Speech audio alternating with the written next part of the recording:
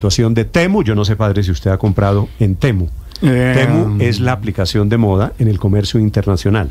Sí, no, no, no. no, ¿No ha comprado tengo que decir que no he comprado en Temu. Daniel, ¿usted ha comprado Sí, en en la casa hemos comprado, Néstor. Eh, yo tengo la aplicación, no he comprado personalmente, pero en la casa eh, hemos comprado. Sí. María Camila, ¿usted ha comprado en Sabe Temu? que no, hasta hoy escucho de Temu. No, No, la Soy eso. es un dinosaurio. no, no la había escuchado. No, yo, esto- yo tengo por preferencia otras, le confieso, no había escuchado de Temu. Pero, ¿en Pero dónde entonces, compra? ¿dónde Amazon. están comprando? En Amazon, Yo en Amazon. la sensación. ¿Usted, ¿Usted es de Temu, Víctor, de momento? Yo directamente no, pero mi novia sí. De hecho, la semana pasada se compró unas cositas. Dice que son baratísimas. Chucherías para la casa, para el baño, para Todo la lo que sala. uno no necesita, pero que se mete ahí y lo compra. Ah, no, es que usted Y que se muy mete- barato. Ese es el problema de eso. Se mete usted, padre, a una de estas aplicaciones, cualquiera, la gringa, que es Amazon. Amazon es la o, que uso. O Ali, por ejemplo, que es China. China. Eh, más que China, es muy asiática. Usted termina comprando cosas que no necesita o que no sabía que necesitaba. La Tal compra cual. por impulso. Exactamente. Entonces, esta mañana hay una alerta internacional porque Temu tiene básicamente, Víctor, dos problemas. Ah, ¿cómo así? No me asuste. El primer problema es de cumplimiento en el comercio, que usted compra... ¿Qué compró su novia, Víctor, por ejemplo? Compró un reloj inteligente muy barato. Eso es que se conecta con el celular. ¿sí? Y pues ahí le empieza a ver los mensajes y demás. Y se compró una cosa le- para aromatizar el apartamento. ¿Le llegó el reloj inteligente? Sí, sí, sí, le llegó el viernes Ah, pasado.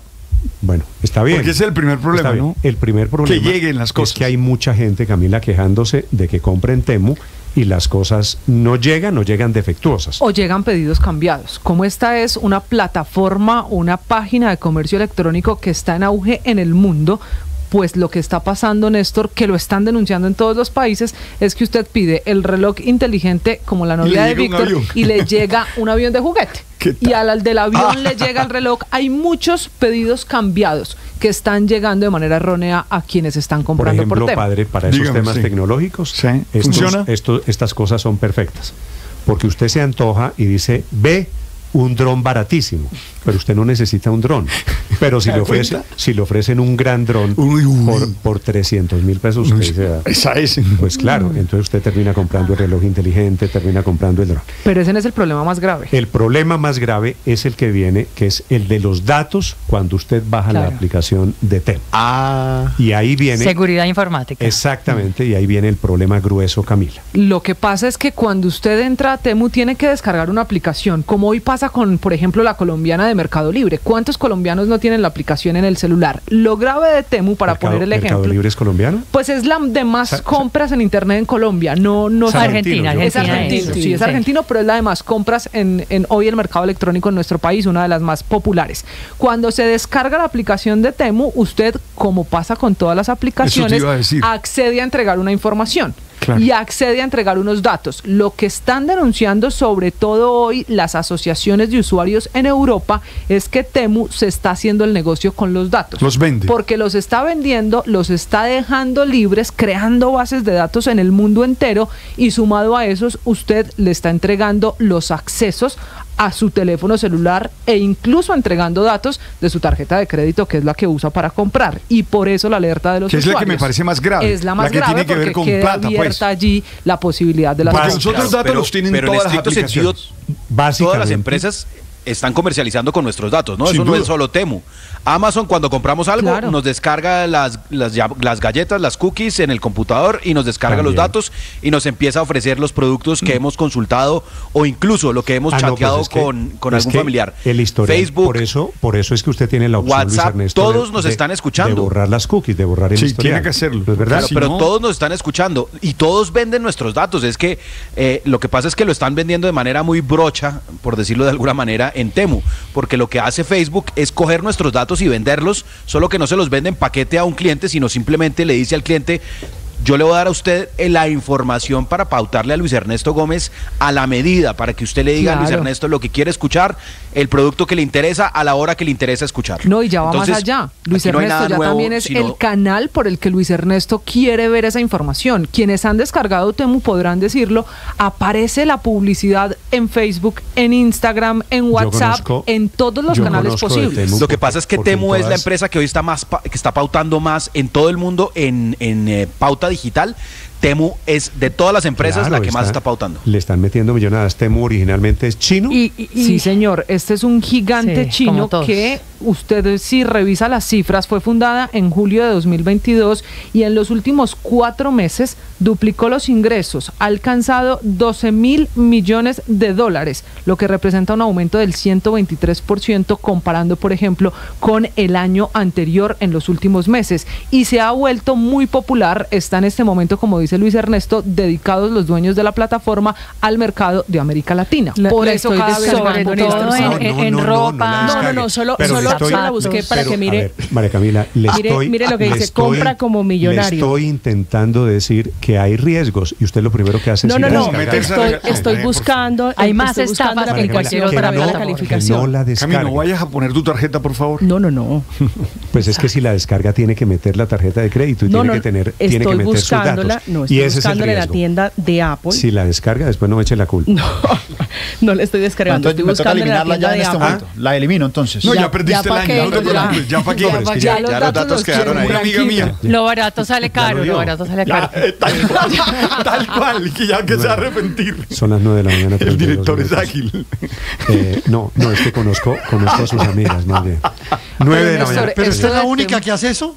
No es la única, la única que hace eso. No, Aurelio, no es la única, eso. pero pero a un nivel en el que como está tan popular en el mundo, hoy las bases de datos Camila. casi que dependen de Temu. No es coincidencia que justo hoy la Organización de Consumidores y Usuarios y la Federación de Consumidores y Usuarios de España estén denunciando a Temu porque está violando las políticas de usuarios y de privacidad de los Es usuarios. posible, Aurelio, que si usted abre hoy redes sociales cualquiera, usted llega a TikTok, usted llega a Instagram, usted está en Twitter, en Facebook, cualquiera de las redes sociales, a usted le esté saliendo publicidad en este momento de Temu.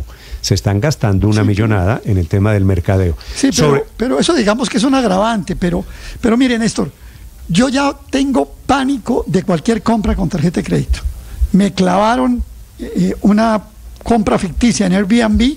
No hubo ni superintendente financiero, ¿Cuánto ni perdió, defensor del usuario. Pues más de tres pesos. ¿sí? Con eso le digo todo. ¿Tres mil dólares o tres millones trampa de pesos? No, el de 3 mil dólares no estaba trabajando aquí en Blue. No, 3 millones. Pero, pero ¿por qué Pero- me pero es que eso es mucho para mí. Usted, Eso es mucho usted para un hombre mí. que gana muy bien en Blue. Usted no tiene por qué, Sí, sí. por qué regañarme Sí, por por- nada. Aurelio, perdóneme un segundo que tengo comunicación con doña Anabel Arias, que es la responsable de derechos digitales de la Federación de Consumidores de España, que han estudiado este tema. a uno de los de las demandas que le estaba Esto- contando. estos son efectivamente los que están izando una banderita amarilla con la alerta de esta mañana. Doña Anabel, buenos días. Hola, buenos días. ¿Qué diferencia hay entre los datos que uno le entrega a Temu o a otras plataformas de comercio? Bueno, en realidad no es el tema la diferencia de los datos, sino lo que nosotros estamos planteando en conjunto con otras organizaciones de Europa, en total 17, eh, coordinados por una eh, que nos engloba a todas, que se llama BEUC, es el tema del incumplimiento de la normativa específica que tiene Europa para proteger a los usuarios de los mercados en línea. Una, eh, digamos, pata de esa ley tiene que ver con la claridad en los datos que se toman. No hay una diferencia entre los datos que toma Temu o James, sino lo que propone esta ley es que haya transparencia y claridad en cómo se toman esos datos y para qué se utilizan. ¿Qué quiero decir con esto? Que si a la hora de que Temu recomienda un contenido, un producto a un determinado usuario para, para, para comprar, el usuario pueda entender por qué se está haciendo esa recomendación. Eso es una de las eso lo eh, hace- principales. ¿Eso lo Sí. hace, por ejemplo, Amazon para efectos de comercio? Bueno, Amazon tiene eh, también está bajo la ley de servicios digitales, que es esta ley europea que les comento, y es cierto que también está eh, en, em, en implemen- implementación de esta nueva norma. Puede llegar a decirse que cumple de una manera más efectiva, que tiene más información, lo que no quita que en un futuro la Comisión Europea entienda que también hay algún tipo de incumplimiento. Porque esta ley hay que tener en cuenta que entró en vigencia para todas las plataformas en febrero del año pasado, de, de este año, perdón, y para las grandes plataformas en las que está Amazon, por ejemplo, en agosto del año pasado. Con lo cual, Amazon tiene de alguna manera más tiempo de cumplimiento de la norma y es probable que determinadas cosas que hoy en día están incumplidas en Temus estén cumplidas en Amazon. Por ejemplo, la, la trazabilidad del producto. ¿Qué quiere decir esto? Si Temu vende un producto a un tercero, tiene que darle la información al usuario de quién es esa tercera persona, pero no solamente de quién es, sino cómo lo puede contactar, para que el usuario o el consumidor pueda ejercer sus derechos como consumidor. Amazon esta información la tiene, entonces si un producto vendido por un tercero a través de Amazon, uno quiere saber quién es el verdador, el vendedor sobre el que está haciendo el intermediario Amazon, uno puede encontrar esa información. Una de las cosas que estamos denunciando desde Europa es que en Temu esa información no se puede encontrar. No se sabe incluso dónde va el producto rumbo a la entrega de quien lo recibió. Pero señora Arias, usted pertenece a una de esas 17 organizaciones en Europa que está levantando la bandera. ¿Han podido establecer Temu para qué está usando las bases de datos de los usuarios, de los clientes en todo el mundo? Bueno, nosotros en realidad, como decía antes, la denuncia está principalmente basada en la ley de servicios digitales y lo que denunciamos son cuatro cuestiones que tienen que ver con la falta de trazabilidad, que básicamente no pone la información de los vendedores, con la utilización de los patrones oscuros y acá tiene que ver un poco eh, los datos que recolecta, porque básicamente los patrones oscuros son aquellas eh, actividades o interfaces que utilizan las plataformas para manipular a una persona consumidora a comprar más, por ejemplo, en este caso. Y sí que hemos detectado que Temu utiliza estos patrones oscuros por ejemplo, eh, aumentando los precios cuando una persona usuaria cliquea más de una vez en un mismo producto. Entonces ahí hay una cuestión no solamente del dato, de que se está cliqueando más de una vez, sino que también está el patrón oscuro porque se está aumentando el precio de un mismo producto solamente por cliquearlo más veces. También está el tema de que es difícil deshacerse de la cuenta una vez generada. Entonces es una técnica de manipulación para evitar que las personas no solamente estén más tiempo en la plataforma, sino que ir cuando toman la decisión de que no quieren estar más en Temu.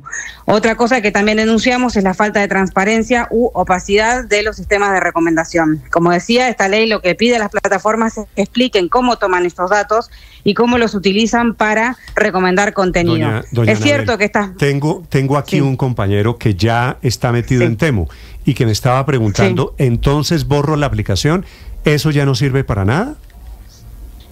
Nosotros no, digamos, no podemos hacer esa recomendación de si se borra o no se borra la, la, la, aplicación, sino que como usuario hay que tener conciencia de cómo, cómo, cómo funciona esta plataforma. Tenemos que saber que los datos que están en esta plataforma se toman para hacernos recomendación de contenido, que también se toman porque son eh, plataformas que se dedican al ultra fast fashion, o sea, la, la el, comercio del, ahora mismo, del ya, que también fomenta no solamente la manipulación para producir sobreconsumo, sino también que, como decíamos, se apoya en la maquinaria de falta de transparencia u opacidad en los sistemas de recomendación para que el usuario no pueda comprender cómo le llegan estos sistemas, eh, eh, estos productos recomendados. Entonces, el punto no es si hay que eliminar o no la aplicación, que como organización de consumidores no podemos emitir esa recomendación, sino el punto es que cumpla la ley que la ley lo que busca es transparencia y rendición de cuentas. Entonces, si vamos a vender productos a través de mercados en línea, que los usuarios sepan por qué.